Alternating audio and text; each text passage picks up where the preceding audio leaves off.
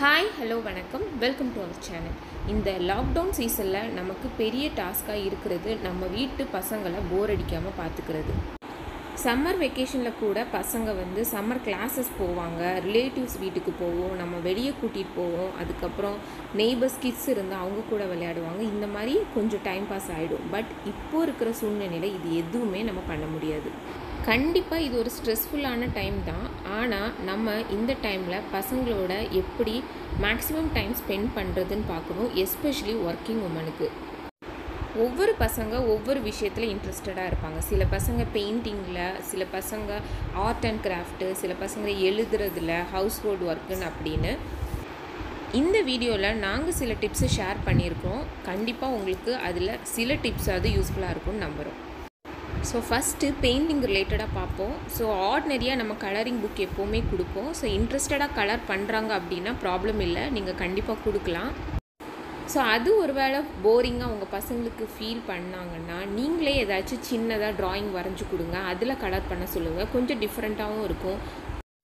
Maybe இன்ட்ரெஸ்டிங்காக பண்ணுறதுக்கு chances இருக்குது ஒருவேளை கேர்ள் பேபியாக இருந்துச்சுன்னா சின்ன சின்ன ரங்கோலி ட்ரா பண்ணி கொடுங்க அதில் கலர் பண்ண சொல்லுங்கள் அது தவிர ஃபிங்கர் பெயிண்டிங் அதுக்கப்புறம் பட்ஸை யூஸ் பண்ணி பெயிண்டிங் இதெல்லாம் கூட சொல்லித்தரலாம் கொஞ்சம் டிஃப்ரெண்ட்டாக இருக்கும்.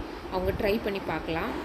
ஸோ ட்ராயிங் இன்ட்ரெஸ்டிங்காக பண்ணுவாங்க அப்படின்னா வீட்டில் இருக்க சிம்பிள் திங்ஸை அவங்களே சூஸ் பண்ணி வரைய சொல்லுங்கள் டிவி சேர் அப்புறம் பவுலு கப்பு இந்த மாதிரியெல்லாம் ஸோ நெக்ஸ்ட்டு சிம்பிளான கிராஃப்ட் ஏதாவது நம்மளே சொல்லித்தரலாம் நம்ம அதுக்காக ஜீனியஸாக இருக்கணும்னு கிடையாது. ஐஸ்கிரீம் ஸ்டிக்கை வச்சு சிம்பிளான கிராஃப்ட் இந்த மாதிரி பண்ண சொல்லலாம்.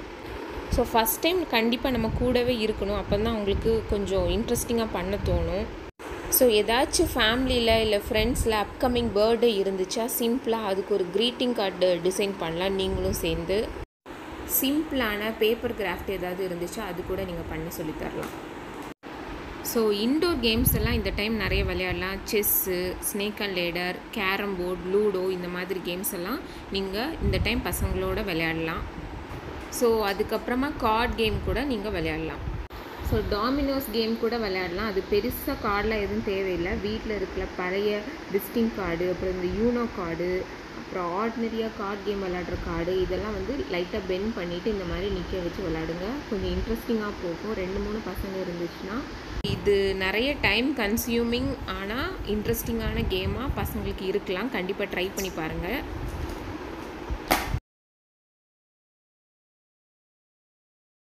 நிறைய பசங்களுக்கு டான்ஸில் இன்ட்ரெஸ்டிங்காக இருக்கும். ஸோ நீங்களும் பசங்களும் சேர்ந்து ஒரு பாட்டுக்கு கொரியோகிராஃபி பண்ணலாம். அவங்களோட ஃபேவரட்டான ஸ்டாங்களோட ஸ்டெப்ஸை வந்து இமிட்டேட் பண்ண சொல்லலாம். கொஞ்சம் இன்ட்ரெஸ்டிங்காக போகும். ஸோ சில பசங்களுக்கு ஸ்டடீஸ் ரிலேட்டடாக கொஞ்சம் இன்ட்ரெஸ்டிங்காக இருக்கும்.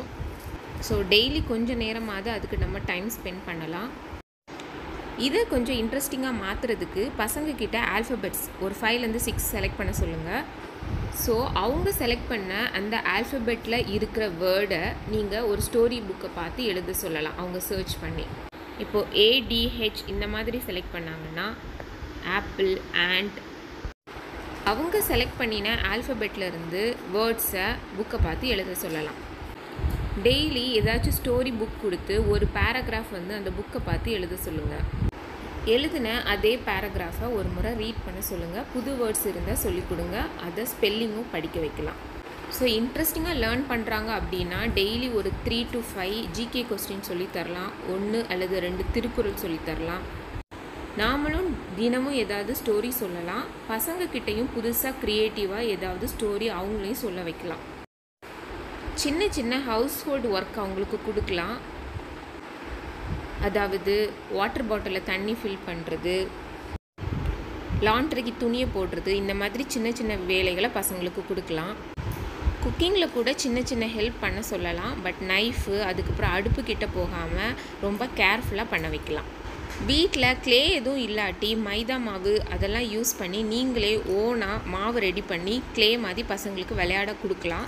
ஸோ சேர்ந்து செய்யும் போது அவங்க இன்ட்ரெஸ்டிங்காக பண்ணுவாங்க. ஸோ கார்டனிங்லேயும் சில பசங்க இன்ட்ரெஸ்டடாக இருப்பாங்க. ஸோ பிளான்ஸ் எல்லாம் இருந்துச்சுன்னா ஸ்ப்ரே பாட்டிலில் தண்ணி ஃபில் பண்ணி நீங்கள் செடிக்கு தண்ணி விட சொல்லலாம். பசங்களோட இந்த மாதிரி ஆக்டிவிட்டீஸ்னால கண்டிப்பாக வீடு மெஸ்ஸி ஆக தான் செய்யும். பட் அதை விட பசங்களோட ஹாப்பினஸ் தான் இப்போதைக்கு நமக்கு இம்பார்ட்டன்ட் ஏன்னா ரொம்ப பிஸியாக இருந்த பசங்க இப்போ எதுவுமே ஆக்டிவிட்டீஸ் இல்லாமல் வீட்டில் இருக்காங்க. கண்டிப்பாக பசங்களை என்கேஜ்டாக வச்சுருக்குது நம்மளோட ரெஸ்பான்சிபிலிட்டி தான். என்ன சின்ன விஷயம் பண்ணினா கூட நீங்கள் நிறைய மோட்டிவேட் பண்ணுங்கள் என்கரேஜ் பண்ணுங்கள் நிறைய பேசுங்க.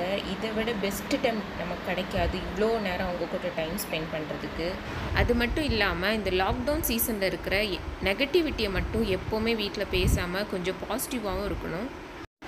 அட்லீஸ்ட் சில டிப்ஸ் உங்கள் பசங்களுக்கு யூஸ்ஃபுல்லாக இருக்கும்னு நம்புகிறேன் இந்த வீடியோ பிடிச்சிருந்துச்சுன்னா லைக் பண்ணுங்கள் ஷேர் பண்ணுங்கள் நம்ம சேனலை மறக்காமல் சப்ஸ்கிரைப் பண்ணுங்கள் தேங்க்யூ ஃபார் வாட்சிங்